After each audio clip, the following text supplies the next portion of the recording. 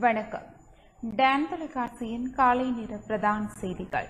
செய்திகளுக்காக இணைந்திருக்கும் நான் கிரசாயினி ஒரு திருராசர் வவுனியாவில் கோவிட் தொற்றால் மேலும் இருவர் மரணமடைந்துள்ளனர். வவுனியாவில் கோவிட் தொற்று காரணமாக இருவர் மரணமடைந்துள்ளதாக சுகாதார பிரிவினர் தெரிவித்துள்ளனர்.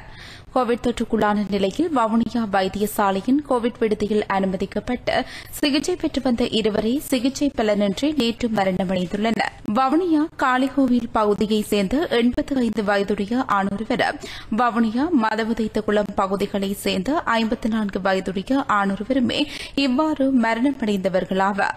மரணமடைந்தவர்களின் சடலங்களை சுகாதார முறைப்படி தகனம் செய்வதற்குரிய நடவடிக்கைகளை சுகாதார பிரிவினர் முன்னெடுத்துள்ளனர்.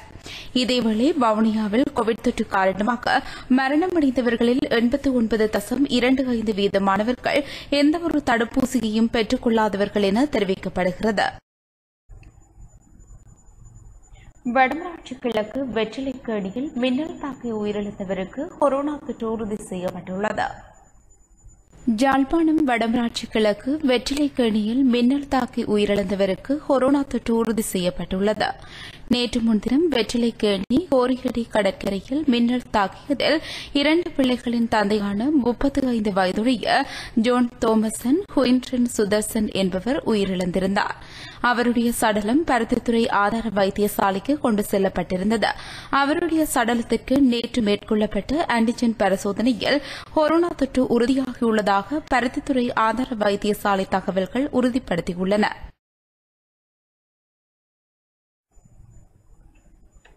முன்பள்ளி ஆரம்ப பிரிவு மாணவர்களுக்கு விசேட போக்குவரத்து சேவையை ஆரம்பிப்பதற்கு தீர்மானிக்கப்பட்டுள்ளது.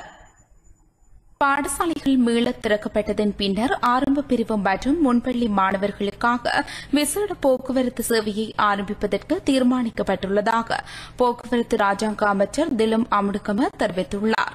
கண்டியில் நேற்று ஊடகங்களுக்கு கருத்துரைத்த போதே அவர் இதனை குறிப்பிட்டார். ஆசிரியர்கள் மற்றும் முன்பள்ளியின் பிரதிநிதிகள் ஆகியோரின் பங்கு பெற்றுதலுடன் இந்த விசேட போக்குவரத்து சேவை முன்னெடுக்கப்படும் என அவர் தெரிவித்துள்ளார். அத்துடன் பாடசாலை மாணவர்கள் பயணிக்கும் தனியார் வாகனங்களையும் பதிவு செய்வதற்கான வேலைத்திட்டம் ஆரம்பிக்கப்பட்டுள்ளதாக அவர் குறிப்பிட்டார்.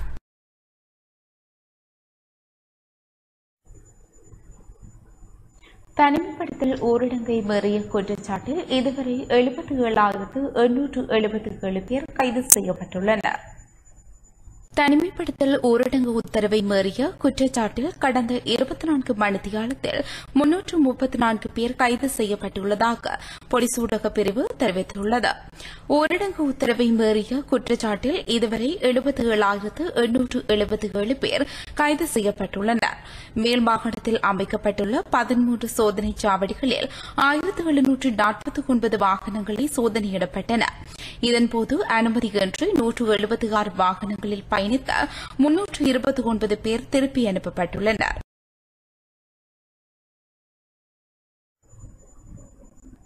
நாடு மீண்டும் திறக்கப்படும் போது பிறப்பிக்க வேண்டிய சுகாதார வழிகாட்டல்களை தயாரிக்க கொரோனா ஒழிப்புக்கான விசேட செயலணி தீர்மானித்துள்ளது. நாட்டில் தற்போது அமலில் இருக்கும் தனிமைப்படுத்தல் ஊரடங்கு சட்டத்தை நீக்கி நாட்டை மீண்டும் திறக்கும் போது பிறப்பிக்க வேண்டிய சுகாதார வழிகாட்டல்கள் மற்றும் கட்டுப்பாடுகளை முழுமையான திட்டமிடலுடன் தயாரிக்க கொரோனா ஒழிப்புக்கான விசேட செயலணி தீர்மானித்துள்ளது. நிதியமைச்சர் பசில் ராஜபக்ச தலைமையில் நேற்று கொரோனா ஒழிப்புக்கான செயலணி கூட்டம் வீடியோ தொழில்நுட்பத்தின் ஊடாக இடம்பெற்ற போது தீர்மானம் எட்டப்பட்டது. மூன்று துறைகளின் கீழ் இந்த திட்டமிடல் தயாரிக்கப்பட உள்ளதோடு அரசு துறையை செயற்படுத்துவதற்கான முறைமைகளை தயாரிக்கும் பொறுப்பு பொது நிர்வாக அமைச்சிடமும் பொது போக்குவரத்து சேவைகளுக்கான முறைமைகளை தயாரிக்கும் பொறுப்பு போக்குவரத்து அமைச்சிடமும் தனியார் துறை சேவைகளை நடத்துவதற்கான முறைமைகளை தயாரிக்கும் பொறுப்பு தொழில்துறை அமைச்சிடமும் ஒப்படைக்கப்பட்டுள்ளது. சுகாதார நிபுணர் குழுக்கள் மற்றும் சுகாதார அமைச்சு ஆகியவற்றின் வழிகாட்டல்களின் கீழ் பொறுப்பு வாய்ந்த அமைச்சுக்களால் பரிந்துரைகள் வெளியிடப்பட உள்ளன. இந்த திட்டமிடல் செயற்படுத்தப்படும் போது பொது சுகாதார பரிசோதகர்கள் உள்ளூராட்சி மன்றங்கள் கிராமிய அபிவிருத்தி குழுக்கள் மற்றும் ஊடகத்துறையின் முழுமையான ஒத்துழைப்பை பெற்றுக் கொள்ள வேண்டும் என அமைச்சர் பசல் ராஜபக்ச வலியுறுத்தினார். இதன்போது பாடசாலை கல்வி நடவடிக்கைகளை மீள ஆரம்பிப்பது தொடர்பிலும் கலந்துரையாடப்பட்டது. அதற்கான பரிந்துரைகள் சுகாதார நிபுணர்கள் குழுவினால் கல்வி அமைச்சிடம் ஒப்படைக்கப்பட்டுள்ளது. ஆளுநர்கள் மற்றும் மாகாண சுகாதார பணிப்பாளர்களுக்கு இந்த பரிந்துரை பரிந்துரைகளை நேரடியாக அனுப்பி வைக்குமாறு உரிய அதிகாரிகளுக்கு அமைச்சர் பசில் ராஜபக்ச ஆலோசனை வழங்கினார். பாடசாலை கல்வி நடவடிக்கைகளை ஆரம்பிப்பதற்கு தடுப்பூசி ஏற்றல் பணிகள் முழுமையடையும் வரை காத்திருக்க தேவையில்லை என ஜுனிசெப் உள்ளிட்ட சிறுவர்கள் தொடர்பான சர்வதேச அமைப்புகள் மற்றும் உள்நாட்டின் சிறுவர் நோயில் விசேட வைத்திய நிபுணர்கள் சுட்டிக்காட்டியுள்ளனா். கொரோனா தொற்று பரவலுக்கு மத்தியில் சுதேச ஆவுடதங்களுக்கு சர்வதேச ரீதியில் பெரும் கேள்வி நிலவுகின்றது. அதனால் ஔடத ஏற்றுமதியில் காணப்படும் தடைகளை நீக்கி நேரடி திட்டம் ஒன்றை தயாரிப்பது தொடர்பில் அவதானம் செலுத்தப்பட்டது. விமான நிலையங்களின் ஊடாக நாட்டுக்குள் பிரவேசிக்கும் வெளிநாட்டு சுற்றுலா பயணிகளுக்கு மேற்கொள்ளப்படும் பிசிஆர் பரிசோதனைகளில் தாமதம் ஏற்படுவதாக முன்வைக்கப்படும் குற்றச்சாட்டுகளில் எவ்வித உண்மைக்கும் இல்லை என அமைச்சர் பிரசன்ன ரணதுங்க தெரிவித்தாா் புதிதாக ஆரம்பிக்கப்பட்டுள்ள பரிசோதனை மத்திய நிலையங்களின் நடவடிக்கைகள் இன்றைய தினம் ஆரம்பிக்கப்படும் எனவும் அதனால் பரிசோதனை நடவடிக்கைகள் மேலும் விரைந்து நடாத்தப்படும் எனவும் அமைச்சர் பிரசன்ன ரணதுங்க சுட்டிக்காட்டினார். இதுவரை மேற்கொள்ளப்பட்டுள்ள தடுப்பூசி ஏற்றலின் வெற்றிகரமான நடவடிக்கை தொடர்பில் விரிவாக கலந்துரையாடப்பட்டது. இந்த கலந்துரையாடலில் அமைச்சர்கள் ராஜாங்க அமைச்சர்கள் சுகாதார தரப்பினர் பாதுகாப்பு தரப்பினர் கொரோனா ஒழிப்புக்கான விசேட செயலணி உறுப்பினர்கள் மாகாண மற்றும் பிரதேச சுகாதார பணிப்பாளர்கள் உள்ளிட்ட பலரும் பங்கேற்றனர். தனிமைப்படுத்தல் ஊரடங்கு சட்ட காலப்பகுதியில் மக்கள் அன்றாட தேவைகளுக்காகவே வீதியில் நடமாடுவதாக கடற்றொழில் அமைச்சர் டக்ளஸ் தேவானந்தா தெரிவித்துள்ளார். மக்களின் நன்மை கருதியே தனிமைப்படுத்தல் ஊரடங்கு சட்ட கால பகுதியில் அரசாங்கம் நெகிழ்வு போக்கை கடைபிடிப்பதாக கடற்றொழில் அமைச்சர் டாக்லஸ் தேவானந்தா தெரிவித்துள்ளார். நேற்று கொழும்பில் மெய்நிகர் வழியில் இடம்பெற்ற ஊடக சந்திப்பின் போது எமது செய்தியாளர் எழுப்பிய கேள்விக்கு இவ்வாறு பதில் வழங்கினார். இந்த லாக்டவுன் குறித்து நீங்க வந்து சில விஷயங்கள் சொல்லியிருந்தீங்க. இப்ப குறிப்பாக இந்த யாழ் மாவட்டத்தை எடுத்து பார்த்தால் வந்து பார்கள் திறக்கப்பட்டிருக்கிறது. இன்னொரு பக்கம் கடைகள் எல்லா வகையான கடைகளும் திறக்கப்பட்டிருக்கின்றன. அது எல்லாவற்றையுமே தாண்டி வந்து பஸ் போக்குவரத்து மட்டும் இல்லை என்று சொல்லப்படுவதுதான் இந்த லாக்டவுனாக இருக்கிறது. அப்போ பலரினுடைய குற்றச்சாட்டாக இருக்கக்கூடிய இந்த லாக்டவுன் என்பது கேள்வி என்ன ஒரு கேலிக்கூத்தாக மாறிவிட்டது. சுகாதாரத்துறை சார்பாக சில விஷயங்கள் கொஞ்சம் பாசிட்டிவான விஷயங்கள் தெரியலாம். ஆனால் இது லாக்டவுன் என்பது இப்போது பிரயோஜனம் இல்லாமல் போயிருக்கக்கூடிய சூழலில் லாக்டவுன் என்ற பெயரில் அரசு இதனை எவ்வளவு காலம் கொண்டு செல்ல போகிறது? இதனுடைய முதலாவது கேள்வி. பெரும்பான்மையான மக்கள் பொழுதுபோக்குக்காக வீதிக்கு வர இல்லை. அவர்கள் தங்களுடைய தேவைகளை கருத்துல கொண்டுதான் அரசாங்கம் அதுல சில நெகிழ்வு போக்கோட தான் அந்த லாக்டவுனை வச்சிருக்கலாமே ஒழிய இறுகி அதாவது வீட்டு கதவுகளை வீட்டு கேட்டுகளை இறுக்கி பூட்டி போட்டு வீட்டுக்குள்ள இருக்கிற மாதிரி நாட்டை வைத்திருக்க முடியாது. இந்த நாட்டுக்கு நாட்டால தாங்க முடியாது. இதுக்கு இலங்கை நாடு மாத்திரம் அல்ல வளர்ச்சி அடைந்த அபிவிருத்தி அடைந்த நாடுகள்ல கூட கிட்டத்தட்ட இதே நிலைமை. ஆனா அவர்களுக்கு நாட்டை மூடினால் ஆஸ்திரேலியால நாட்டை மூடினால் அவர்களுக்கு வேலை இழந்தாக்களுக்கு வருமானம் இழந்தாக்களுக்கு காசு கொடுக்க முடியும். ஆனா எங்கள்கிட்ட அப்படி இல்லை. அப்ப நாங்கள் ஒரு நெகிழ்வுத்தன்மையோட தான் முடக்கல். நிலையை நாங்கள் கொண்டு போகணுமே ஒழிய அதை நாங்கள் ஒரு ஆரோக்கியமாகத்தான் நாங்கள் பார்க்க வேணுமே ஒழிய அதுல குறைபாடுகள் இருந்தால் அந்த குறைபாடுகளை நிச்சயம் நாங்கள் நிவர்த்தி செய்வோம். ஜனாதிபதி வந்தவுடனே வ- வருகின்ற திங்கட்கிழமை ஒரு அமைச்சரவை கூட்டம் இருக்கின்றது. நாங்கள் அந்த அமைச்சரவை கூட்டத்தில் இதுல இருக்கக்கூடிய சாதக பாதகங்களை பற்றி நாங்கள் கலந்துரையாடுவோம். குறைகள் இருக்குமா இருந்தால் நாங்கள் நிச்சயம் அதை திருத்திக் கொள்வோம். மிக குறிப்பாக வடக்கு கிழக்கு சார்ந்த கடல் பரப்புகளிலே பூர்வீக தமிழர்கள் வாழக்கூடிய பகுதிகளிலே தொடர்ந்து தென்னிலங்கை மீனவர்களாக இருக்கட்டும் அல்லது வெளி மாவட்ட மீனவர்களாக இருக்கட்டும் அவர்களுடைய அத்துமீறலும் இந்த சுருக்கு வலை போன்றவை டைனமைட் போன்றவற்றை பயன்படுத்தி அஹ், மீன் பிடிக்கின்ற அல்லது அடாவடித்தனமாக மீன் பிடிக்கப்படுகின்றதாக கூறப்படுகின்ற இந்த குற்றச்சாட்டுகளுக்கு என்ன பதில் சொல்ல போகிறது வடக்கு கடற்தொழிலாளர்களை பொறுத்த வகையில தொப்புள் கொடி உறவான தமிழ்நாட்டு கடற்தொழிலாளர்களுடைய தொல்லைகள் அத்துமீறின இல்லதாண்டின சட்டவிரோத தொழில்கள் எங்களை பல வகைகளில் பாதிக்கின்றது. ஒன்று எங்களுடைய வளங்கள் அளிக்கப்படுகின்றன அவருடைய இந்த பொட்டம் ட்ரோலிங் என்று சொல்லுவினோம் அந்த நிலத்தை அப்படி வருகி எடுக்கிறது. அப்ப இந்திய தரப்புல ஏற்கனவே அவையில எல்லாம் வருகி எடுத்து அது ஒரு பாலவனமாகத்தான் அங்க இருக்கின்றது. அப்ப இங்கேயும் வந்து அதை செய்ய வலிக்கிறேன். அப்ப அதை அதை தடுக்க வேணும். அப்ப பாலவனமாக்குற வேலையில ஈடுபடியினும் இதால அவர்களுக்கும் பிரியோசனம் இல்லை எங்களுக்கும் பிரியோசனம் இல்லை. பாலவனம் ஆகின பிறகு இரண்டாவது எங்களுடைய கடற்தொழிலாளர்களுடைய கடல் தொழில் உபகரணங்கள் அளிக்கப்படு வாழ்வாதாரம் சூறையாடப்படுகின்றது. இது சம்பந்தமாக பல முயற்சிகள் பல கலந்துரையாடல்கள் எடுக்கப்பட்டிருக்கின்றது. இருந்தாலும் இந்த வருட முடிவுக்குள்ள நான் அதுக்கு முடிவு காணுவேன் என்று நம்புகின்றேன்.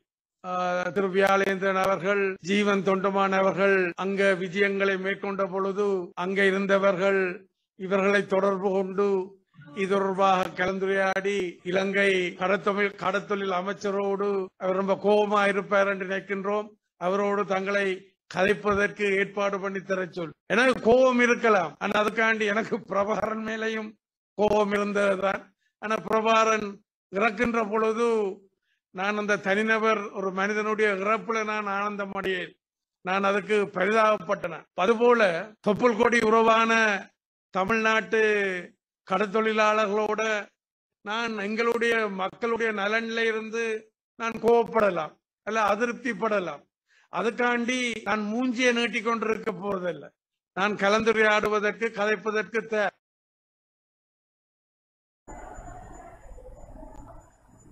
கொழும்பு துறைமுகத்தில் உள்ள அத்தியாவசிய உணவுப் பொருட்களை உடனடியாக விடுவிக்குமாறு பிரதமர் பணிப்புரை விடுத்துள்ளார். கொழும்பு துறைமுகத்தில் தங்கியுள்ள அத்தியாவசிய உணவுப் பொருட்களை உடனடியாக விடுவிக்குமாறு பிரதமர் மஹிந்த ராஜபக்ச பணிப்புரை விடுத்துள்ளார். சூம் தொழில்நுட்பம் ஊடாக நேற்று இடம்பெற்ற வாழ்க்கை செலவு பற்றிய அமைச்சரவை உபகுழு கூட்டத்தில் அலரி மாளிகையில் இருந்தவாறு பங்கேற்ற வேளை இந்த பணிப்புரையை விடுத்தார். நாட்டு மக்களின் வாழ்க்கை செலவு குறித்து கவனம் செலுத்திய பிரதமர் இறக்குமதி ஏற்றுமதி கட்டுப்பாட்டாளர் நாயகம் மற்றும் சுங்க பணிப்பாளர் நாயகம் ஆகியோருக்கு இவ்வாறு பணிபுரி விடுத்துள்ளார்.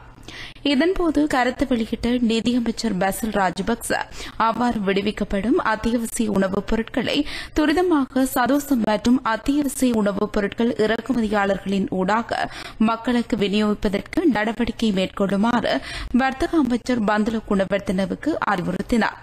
அரிசி உள்ளிட்ட அத்தியாவசிய உணவுப் பொருட்களை தட்டுப்பாடின்றி சந்தைக்கு விடுவிப்பதற்கான பொறுப்பை வர்த்தக அமைச்சும் விவசாயத்துறை அதிகாரிகளும் ஏற்க வேண்டும் என வலியுறுத்தப்பட்டது.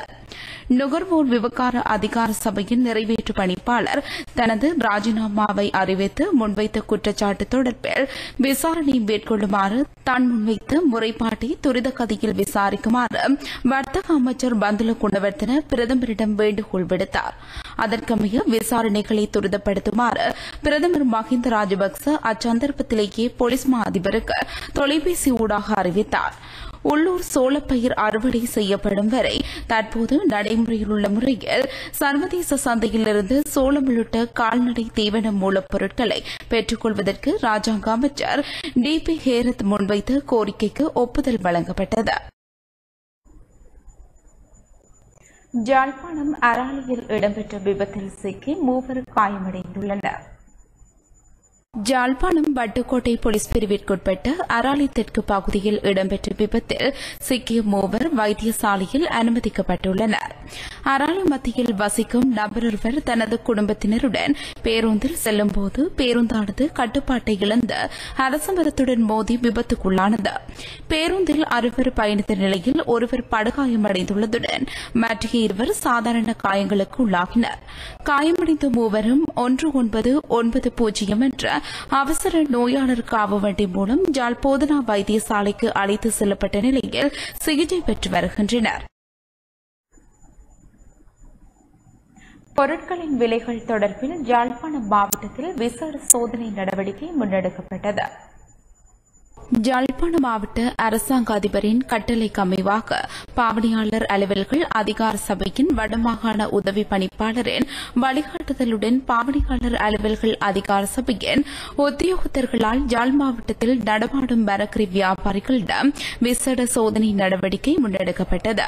ஜாழ்ப்பாணம் கோபாய் தெல்லிப்பளை உடுவில் பிரதேச செயலக பிரிவுகளுக்குட்பட்ட நடமாடும் மரக்கறி வியாபாரிகளிடமே இச்சோதனை முன்னெடுக்கப்பட்டது. இதன்போது விலை விலைப்பட்டியல் காட்சிப்படுத்தப்பட வேண்டும் என்ற அறிவுறுத்தலுக்கும் வழங்கப்பட்டது. அத்தோடு வியாபார நிலையங்கள் பரிசோதிக்கப்பட்டதுடன் விலை தொடர்பான விசாரணைகளும் மேற்கொள்ளப்பட்டது. ஒழுக்கமான வியாபார நடவடிக்கை தொடர்பான அறிவுறுத்தலும் வழங்கப்பட்டதோடு பாவனையாளர் அலுவல்கள் அதிகார சபைக்கு கிடைக்கப்பெற்ற முறைப்பாடுகள் விசாரணை செய்யப்பட்டதுடன் அதற்கான தீர்வுகளும் பெற்றுக் கொடுக்கப்பட்டது. முறைகேடான வர்த்தக நடவடிக்கைகளில் ஈடுபடுவோர் மீது வழக்கு பதிவு செய்யப்படுகின்றமை குறிப்பிடத்தக்கது. நாட்டின் தென்மேற்கு பகுதியில் கடும் மழை பெய்வதற்கான வாய்ப்புள்ளதாக சுட்டிக்காட்டப்படுகின்றது. நாட்டில் தென்மேற்கு பகுதியில் மழையுடனான வானிலையில் அடுத்த சில நாட்களில் அதிகரிப்பு ஏற்படும் என எதிர்பார்க்கப்படுகின்றது.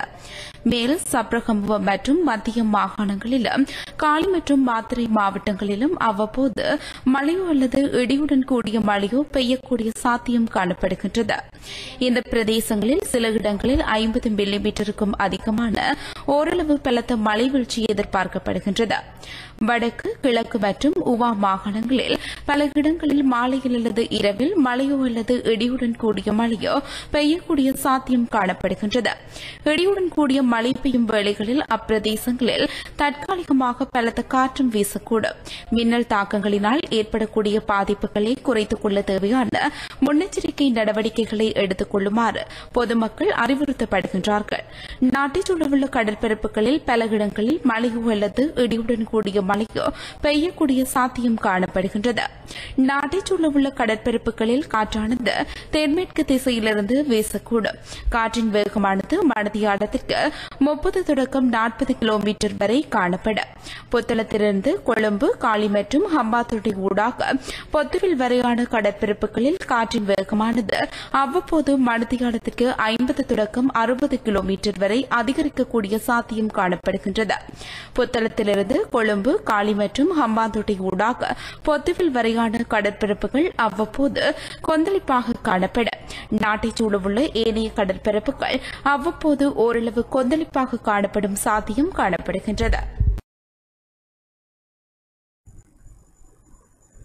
அமெரிக்காவின் செப்டம்பர் பதினொன்று தாக்குதல்களின் இருபதாம் ஆண்டு விசேட நினைவேந்தல் நிகழ்வில் ஜனாதிபதி கோட்டாபய ராஜபக்ச பங்கேற்றார். அமெரிக்காவின் செப்டம்பர் பதினொன்று தாக்குதல்களின் இருபதாம் ஆண்டு விசேட நினைவேந்தல் நிகழ்வில் ஜனாதிபதி கோட்டாபய ராஜபக்ச மற்றும் அவரது பாரியார் ஆகியோர் பங்கேற்றனர்.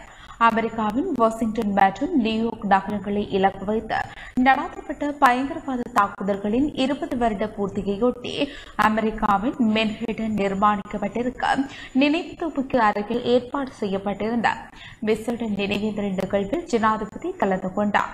இரண்டாயிரத்து ஒன்று செப்டம்பர் பதினோராம் தேதி அன்று நியூயார்க் நகரில் அமைந்திருந்த உலக வர்த்தக மையம் மற்றும் வாஷிங்டனில் அமைந்துள்ள ஐக்கிய அமெரிக்க ராணுவ தலைமையகமான பெண்டகன் ஆகியவற்றை இலக்கு வைத்து பயங்கரவாத தாக்குதல்கள் நடாத்தப்பட்டன. ஐக்கிய நாடுகள் பொதுச்சபையின் எழுபத்தி ஆறாவது கூட்டத்தொடரையொட்டி ஐக்கிய நாடுகள் பயங்கரவாத எதிர்ப்பு அலுவலகம் மற்றும் செப்டம்பர் பதினொன்று நினைவு அருங்காட்சியகம் ஆகியன இணைந்து இந்த நினைவேந்திர நிகழ்வை ஏற்பாடு செய்திருந்தன. ஐநா பொதுச்சபை கூட்டத்தொடரில் பங்கேற்பதற்காக அமெரிக்காவின் நியூயார்க் நகருக்கு விஜயம் செய்துள்ள உலக நாடுகளின் அரசு தலைவர்கள் மற்றும் பிரதிநிதிகள் மேற்படி தாக்குதல்களால் உயிரிழந்தவர்களுக்கு கௌரவம் அளிக்கும் வகையில் நினைவேந்தல் நிகழ்வில் பங்கேற்றனர்.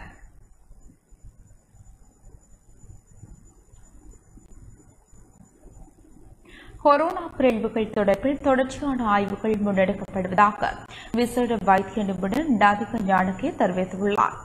ஆல்பா மற்றும் டெல்டாவை போன்று பாரிய பாதிப்புகளை ஏற்படுத்தக்கூடிய வைரஸ் பிறழ்வுகள் தோற்றம் பெறுமா என்பது தொடர்பில் கொழும்பு ரசாயன ஆய்வுக்கூடம் மற்றும் கொழும்பு பல்கலைக்கழகம் இணைந்து தொடர்ச்சியான ஆய்வுகளை முன்னெடுத்து வருவதாகவும் விசேட வைத்திய நிபுணர் நதிகா ஞானகே தெரிவித்துள்ளார். சுகாதார மேம்பாட்டு பணியகத்தில் நேற்று இடம்பெற்ற ஊடகவியலாளர் சந்திப்பின் போதே அவர் இதனை தெரிவித்துள்ளார்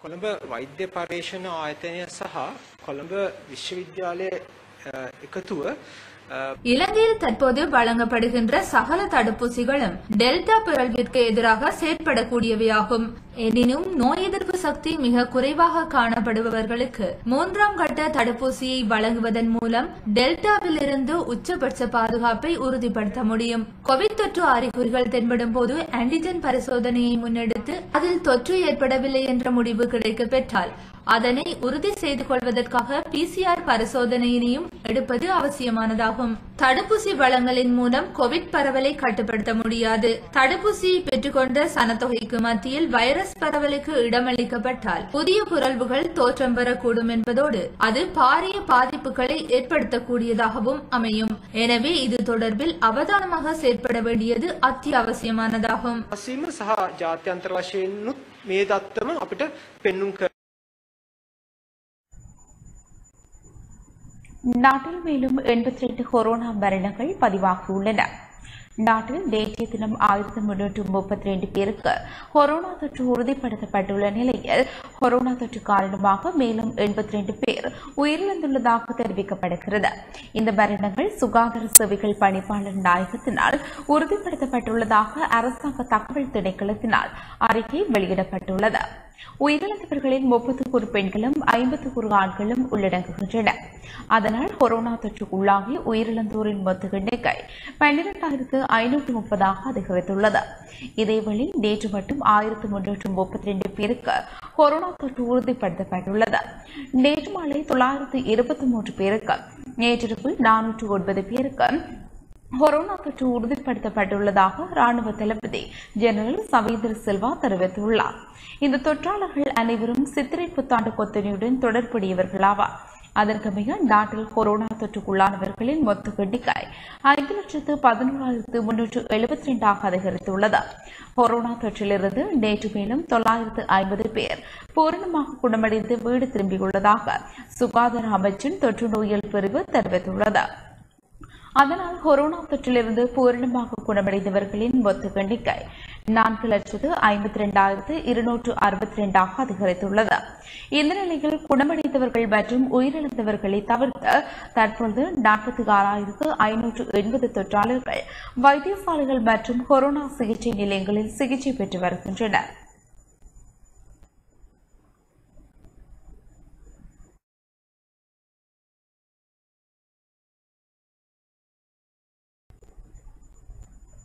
தமிழ் தேசிய கூட்டமைப்பு பாராளுமன்ற உறுப்பினர்களால் தமிழ் மக்களுக்கு பச்சை தண்ணீரும் கூட தர முடியாது என ராஜாங்க அமைச்சர் விமலவீர திசாநாயக்க சாடியுள்ளார். தமிழ் தேசிய கூட்டமைப்பு பாராளுமன்ற உறுப்பினர்களால் பேச முடியுமே தவிர எவ்வித அபிவிருத்திகளையும் செய்ய முடியாது என ராஜாங்க அமைச்சர் விமலவீர திசாநாயக்க தெரிவித்தார். ஆலியடிவேம்பு பிரதேச செயலகத்தில் பிரதேச செயலாளர் வீணா பபாகரன் தலைமையில் நேற்று இடம்பெற்ற அபிவிருத்தி தொடர்பான கூட்டம் ஒன்றில் கலந்து கொண்டு கருத்து தெரிவிக்கும் போதே அவர் இவ்வாறு கூறினார். இதேவேளை தமிழ் மக்கள் வேறு நபர்களுக்கு வாக்களித்துவிட்டு ஆட்சிக்கு வரும் நபர்களிடம் உதவியை எதிர்பார்ப்பதாக அம்பாறை மாவட்ட பொதுஜன பிரமுன கட்சியின் அமைப்பாளர் சாந்தலிங்கம் இதன்போது தெரிவித்தார். இதன்போது கலந்துரையாடலில் ஆலிகடி வேம்பு பிரதேச சபை தவிசாளர் தானா ஹிரோஜாதரன் கணக்காளர் கானா பிரகஸ்பதி உள்ளிட்ட அரசு அதிகாரிகள் மற்றும் பிரதேச சபை உறுப்பினர்கள் பாராளுமன்ற உறுப்பினர் மற்றும் ராஜீவ் கமிஷன் இணைப்பாளர்கள் என பலரும் கலந்து கொண்டனர். நம்முடைய கூட்டாளி கலை அரசன் பார்லிமெண்ட் இருக்கிறது விதி கட்சி. அரசு செய்யலும் கதைக்கேலும் வேலை செய்ய இயலாது அதுதான் நாம் விசேஷமா இ- தமிழ் மக்கள் இந்த ஏரியா பார்த்தது உங்களுக்கு உறுப்பினர் இல்லை. இருக்கிறது இது கட்சி. சும்மா கதை கேளும் தமிழ் மக்களுக்கு பச்சை தண்ணி தரையில் தரையல பச்சை தண்ணி தரையல சும்மா கதை கேளு அது சதி சொல்றது என்ன? அவருக்கு அஞ்சு வருத்தம் நல்ல நல்ல ஆட்சி அரசாங்கம் இருக்குது. என்ன தமிழ் மக்கள் தர இருந்தது? ஈழம் பெடரல் வேற என்ன நீங்க போறது ரோட்டு யார் தருங்க ராஜபக்ச இது ஓன் ராஜபக்ச தமிழ் புள்ளகி ரெண்டாயிரத்தி எட்டு நாங்க அந்த மிஸ்டர் போஸ் எடுத்த நேரத்தில் தமிழ் புள்ளகி கையில இருந்தது என்ன? பெண் இல்லை கன். கன் கொடுத்தாள் யாரு? பிரபாகரன் மட்டும் இல்ல. தமிழ் புள்ளகி கையில கண்டார் ஆக்களுக்கு நீங்க. ராஜபக்ச வேணாமே நூற்றுக்கு நூறு வீதமான பொருளாதார அபிவிருத்தியை இந்த அரசாங்கம் அடுத்த வருஷம் பெற்றுக் கொடுக்கின்றது. அதற்குரிய ப்ரப்போசல் தான் இங்கே மதிப்புக்குரிய டிஎஸ் அவர்களிடம் இங்கே ஒப்படைக்கப்பட்டிருக்கின்றது. இவைகள் எப்படி பெ- பெறப்பட்டு மக்களுக்கு வழங்கப்படுவது என்பதை நாங்கள் சற்று சிந்திக்க வேண்டும். வாக்களிப்பது எங்கேயோ ஆனால் ஆட்சிக்கு வந்த பிறகு உதவிகளை நாங்கள் பெறுகின்றோம். இந்த தவறைத்தான் இந்த அரசாங்கமும் அரசியல்வாதிகளும் தமிழனாகிய இந்த அம்பர மாவட்டத்திலே ஒரு தமிழ் வேட்பாளராக களமிறங்கி அம்பர மாவட்டத்தின் ஸ்ரீலங்கா பொதுஜன பெருமுன மாவட்ட அமைப்பாளராக இருக்கின்ற நான் மிக வே மிக வேதனையோடு அறிய தருவது மிக கஷ்டப்பட்டு முகம் சுளிக்கப்பட்டு வேதனையோடு தான் இந்த அபிவிருத்திகளை இந்த அமைச்சர்கள் அவர்களிடமிருந்து நாங்கள் பெற்றுக்கொண்டு வருகின்றேன். ஏன் ஏனென்றால் கடந்த காலங்களிலே வாக்களித்தது எங்கேயோ? இன்று முப்பது லட்சம் இருபது லட்சம் இதே போன்று வருடம் வருடமாக முப்பது லட்சம் வாழ்வாதாரத்துக்கு கொடுக்கப்பட போகின்றது. காரணம் இந்த இல- இந்த நாட்டிலே வறுமையை ஒழிக்கும் முகமாக இந்த திட்டத்தை நாங்கள் கொண்டு வந்திருக்கின்றோம். முற்றுப்பெறாத நிலையில் வெளியிடப்பட்டுள்ள சாதாரண தர பரீட்சை பெறுபவர்களால் மாணவர்கள் மன பாதிப்புக்கு உள்ளாக்கப்படுவதாக வடக்கு கிழக்கு மாகாணத்திற்கான இலங்கை அரசாங்க ஆசிரியர்களின் சங்க செயலாளர் ஜீவராஜா ருபேசன் தெரிவித்துள்ளார். தற்போது வெளியிடப்பட்டுள்ள காப்பது சாதாரண தர பரீட்சை பெறுபவரானது முற்றுப்பெறாத நிலையில் வெளியிடப்பட்டுள்ளது. இதனால் மாணவர்கள் பண பாதிப்புக்கு உள்ளாக்கப்பட்டுள்ளதுடன் அவர்கள் உயர்தர படிப்பதில் சிக்கல் நிலைமை தோற்றுவித்துள்ளதாகவும் வடக்கு கிழக்கு மாகாணத்திற்கான இலங்கை அரசாங்க ஆசிரியர்களின் சங்கத்தின் செயலாளர் ஜீவராஜா ரூபேசன் தெரிவித்துள்ளார். மட்டக்களப்பில் நேற்று இடம்பெற்ற ஊடகவியலாளர் சந்திப்பில் கலந்து கொண்டு உரையாற்றுகையிலேயே அவர் இதனை தெரிவித்தார். அறிவியல் பாட புள்ளிகள் அதாவது பெறுவர்கள் கிடைக்காத இந்த மாணவர்களை உளவியல் ரீதியாக ஒரு மாணவர்களுடைய மனநிலையை பாழாக்குகின்ற ஒரு செயற்பாடாகவே அரசாங்கம் இதனை இன்றைய காலகட்டத்திலே செய்திருக்கின்றது. அடுத்ததாக இந்த மாணவர்கள் உயர்தர பரீட்சையினை தெரிவு உயர்தர உயர்தரத்திலே பாடத்தினை தெரிவு செய்வதற்கு தாபோத்த சாதாரண தர பரீட்சை பெறுபவர்கள் மாணவர்களுக்கு முக்கியமாக இருக்கின்றது.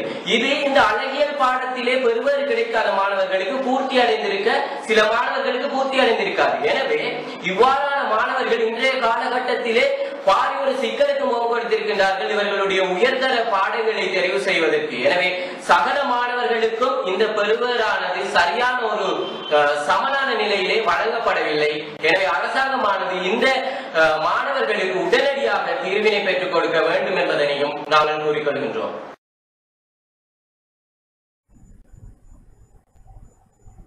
மன்னாரில் திலீபனின் நினைவு நிகழ்வுக்கு தடை விதிக்க நீதிமன்றம் மறுப்பு தெரிவித்துள்ளது.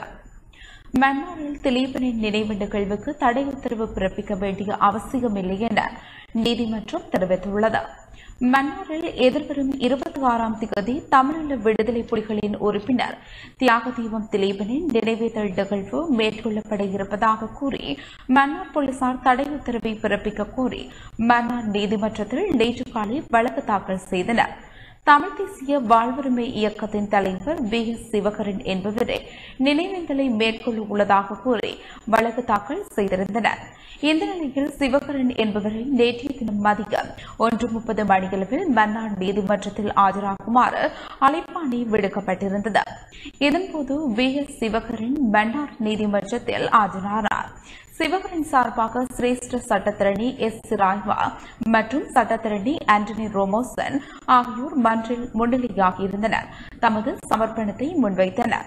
மன்னர் போலீசார் தாக்கல் செய்தது போல் மக்களை ஒன்று சேர்த்து நினைவேந்தலை நடத்த எவ்வித ஏற்பாடுகளையும் மேற்கொள்ளவில்லை எனவும் போலீசார் கற்பனையில் பொய்யான வழக்கை மன்றில் தாக்கல் செய்துள்ளனர் எனவும் சட்டத்திரணிகள் சமர்ப்பணத்தை முன்வைத்தனர். அத்துடன் புலனாய்வு துறையினரின் தகவலுக்கு அமைவாக எந்த சான்றுடன் குறித்த வழக்கை போலீசார் மன்றில் தாக்கல் செய்துள்ளனர் எனவும் போலீசார் மன்றில் தெரிவித்தது போல் தனிமைப்படுத்தல் சட்டத்தை மீறி மக்களை ஒன்று கூட்டும் முயற்சிகள் இடம்பெறவில்லை என எனவும் எனவே போலீசாரின் விண்ணப்பத்தை ஏற்றுக்கொள்ள முடியாது எனவும் சட்டத்தரணிகள் மன்றில் தெரிவித்தனர். இதன்போது விசாரணைகளை மேற்கொண்ட மன்னார் நீதவான் கட்டளை பிறப்பித்தார். சிவகரன் என்பவர் எதிர்வரும் இருபத்தி ஆறாம் திகதி நித்திலம் பதிப்பகம் மகளை ஒன்று கூட்டி எவ்வித ஒன்று கூடலையும் மேற்கொள்ளவில்லை என தெரிவித்துள்ளார். போலீசாரின் வேண்டுகையை ஏற்று மறுத்த நீதிமன்றம் தடை உத்தரவு பிறப்பிக்க வேண்டிய அவசியமில்லை என குறிப்பிட்டு எதிர்வரும் முதலாம் திகதிக்கு வழக்கை ஒத்திவைத்தது. இத்துடன் இந்த செய்தி அறிக்கை நிறைவு பெற்றது. தொடர்ந்தும் டான்ஸ் செய்திகளோடு இணைந்திருங்கள். வணக்கம்.